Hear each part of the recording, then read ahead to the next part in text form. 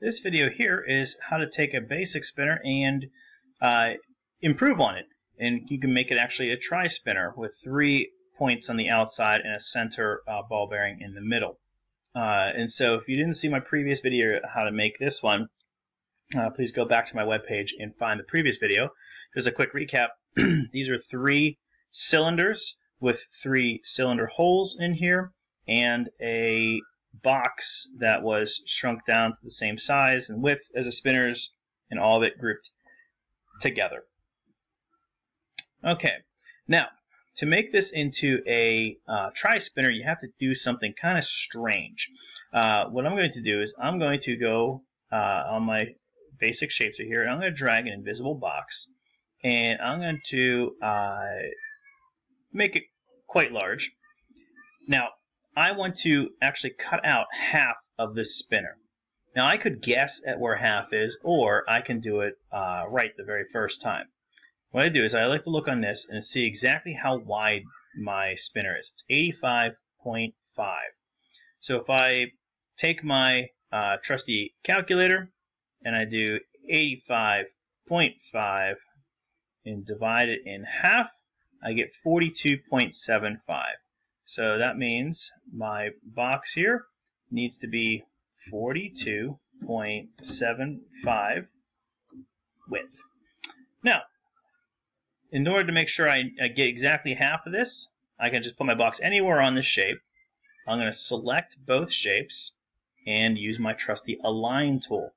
I'm going to align it all the way, instead of aligning everything centered, I'm going to align it all the way to the right, and I'll probably just center the middle as well just to make sure the box covers exactly half of this shape.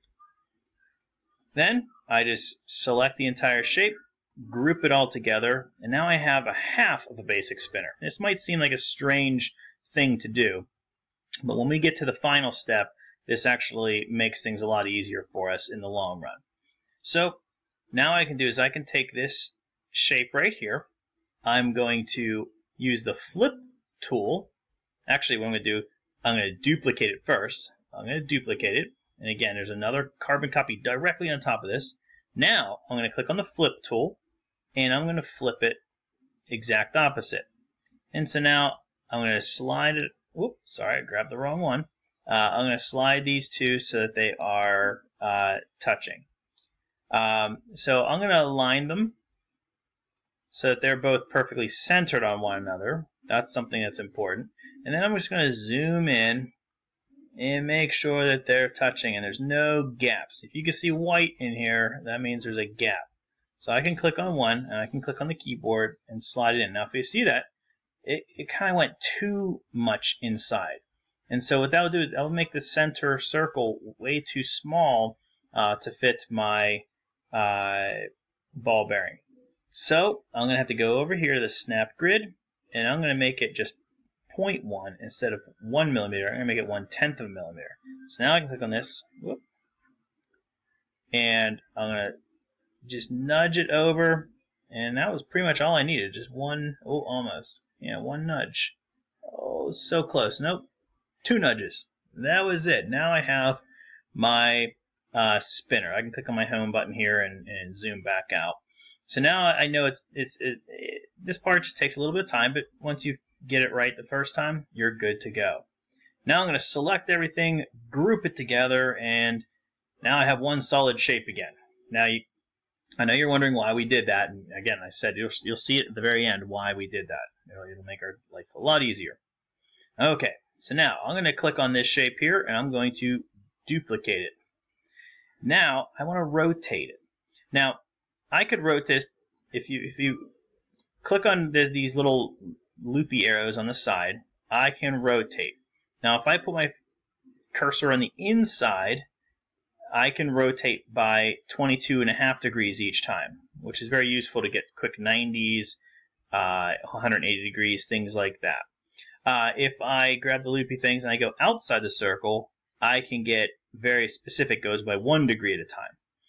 And so I want to duplicate this uh, I'm going to duplicate three times because when I'm all done, I'm going to have actually six uh, circles on the outside, and it'll be perfectly spaced apart. And so a circle is 360 degrees, and 360 divided by 6 is 60 degrees.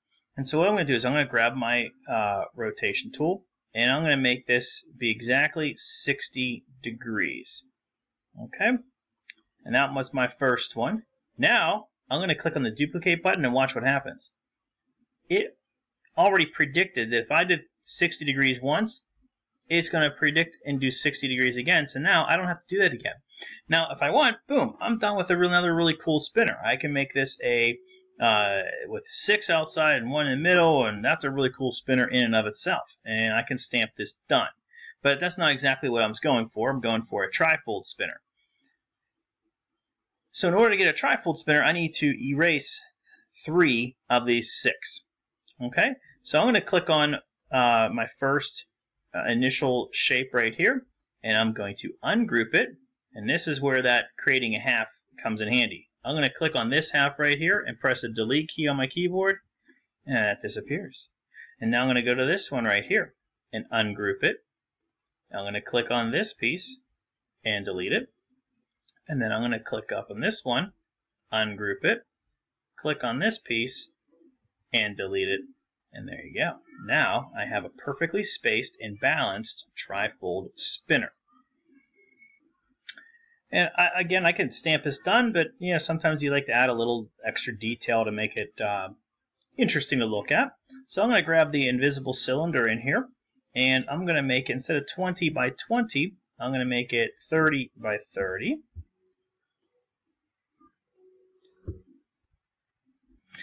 And I'm going to take it and just nudge it into this side right here. And this is, you know, it's a little challenging to, to center it perfectly. Um, and so a little bit of trial and error, and I can use my keyboard to bump it forward, backward, up, down, try to get it as balanced as I can. Uh, and so uh, then I'm going to duplicate this, and I'm going to put one up here in the same kind of spot, just kind of like notch out these little corners right here, and then duplicate, and I'll kind of put it up here. Okay, and if I think I did it correct, if I highlight, or I'm sorry, select everything and group this all together, now I have a pretty cool looking spinner with some notches cut out, make nice little finger grips to hold on to, and this is something that I can send to the printer. And that's it. Now I've taken a basic uh, spinner and I've made it way better. Uh, let me make a tri spinner. And so these things are not difficult to make, and um, Thanks for watching the video.